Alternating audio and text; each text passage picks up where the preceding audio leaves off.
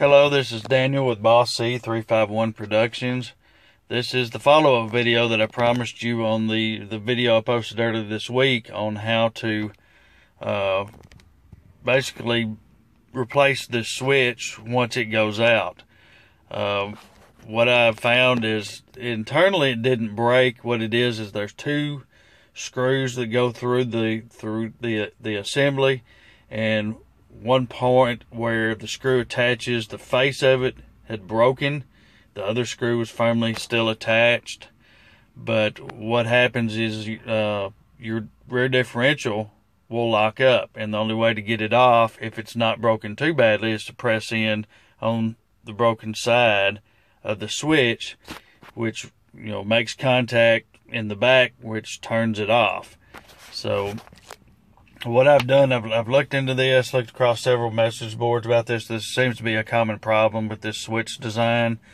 And what I've, I've developed is three different ways to get this thing out.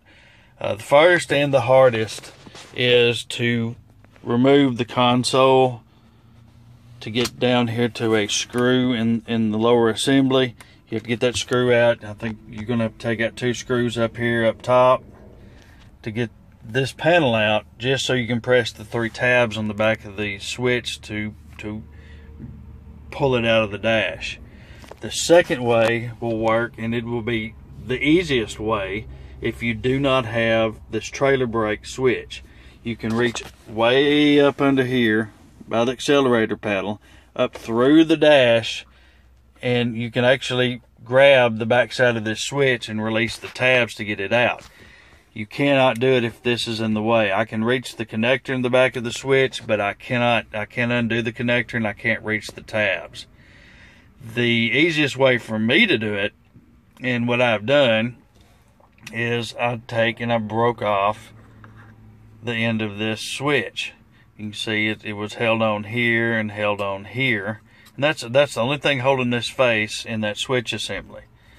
So once I broke it off, it, it give me the the availability of the three tabs. There's a tab there, there's a tab there, and there's a tab there.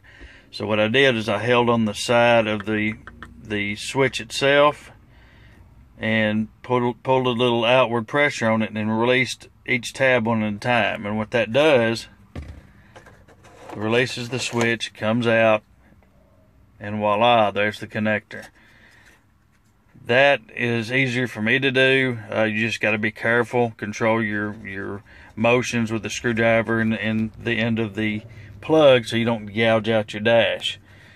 But uh, I'm I'm about to replace the switch. Once I get done with this video, it should work just fine. I mean, this is a Ford part I got off of Amazon from a Ford dealer. Uh, it was $22 I paid for expediting expedited shipping and got it uh, two days after I paid for it. But this is not a Chinese knockoff. It's not. It's it's the original Ford part OEM replacement part. So I appreciate you watching my videos. I, I try to work hard and and show you the ins and outs that I can find. I don't always go by the book, but uh, I've got another video coming up here probably this weekend. If it doesn't rain too much, maybe next weekend. I've got a new set of uh, step rails for my for my truck. Uh, I got them at a great deal off of eBay.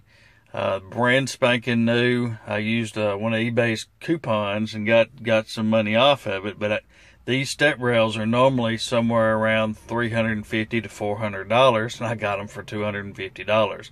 So you guys, if, if you follow my videos, please do subscribe because that helps me in the long run, helps me, helps me with YouTube. But, uh, if you keep your eyes open, I will, I will put it up, uh, try to give you a complete install from, uh, start to finish. But this is Daniel with Boss C351 Productions.